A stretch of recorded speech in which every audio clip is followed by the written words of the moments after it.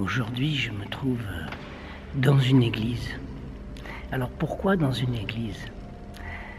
Eh bien, c'est pour vous dire que le client, il est aussi dans l'église. J'ai déjeuné il n'y a pas tellement longtemps avec euh, un curé et après le déjeuner, euh, il m'a dit Bon, il faut que j'y aille, j'ai mes clients qui m'attendent. oui, parce que des paroissiens sont aussi des clients. C'est important d'y penser. Les clients sont partout.